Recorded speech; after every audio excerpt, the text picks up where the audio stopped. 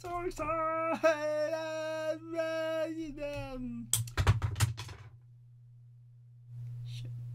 Awkward, Caleb. Yep. So remember before the intro music when I was screaming?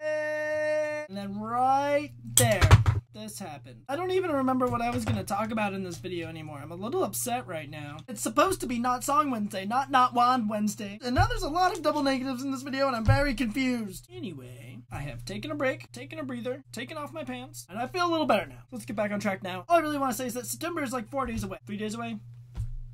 Can't count. Which means that some people will be taking part in 60 Second September, which is a thing in September where you make a 60 second vlog every day in September. September. I'm gonna say September one more time. Well, one more after this now. I mean, September. And I mean, that's cool and all, but that's not a big enough commitment for me. So I take part in the much less attempted 60 second song September. Actually, to the best of my knowledge, this isn't really a thing. I just am doing it. I'll get into more detail about this on Friday, but if you're interested in watching my attempt at doing it last year, you can click on my broken wand right here. Alright, well, I, I have to go now. And since it's a day of not doing things, I'm gonna go and not shave. Actually, full disclosure, I seem to have lost the uh, charger cord for my electric razor that I usually use to, like, you know, shave my neck and in my cheekle area, and my razor's dead. So, probably gonna start looking even more like a hobo, which is good. Have a wonderful end of your month. Mm -hmm. Bye-bye.